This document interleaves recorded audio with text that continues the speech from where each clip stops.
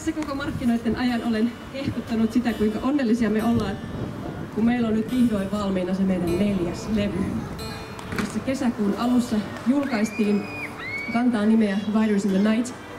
Ja tosiaan sen tiimoilta nyt tässä kierrellään ja soitellaan vähän niitä uusia biisojakin noiden vanhojen lomassa. Muun muassa tämä seuraava laulu löytyy siltä uudelta levyltä. Jos niitä haluaa kuunnella kotonakin niitä kappaleita, niin vierailkaapa tuolla meidän myyntikojulla. Sieltä voi käydä itsellensä lunastamassa pientä muodollista korvausta vastaan. Tämän uutukaisen sieltä löytyy myös muita meidän levyjä.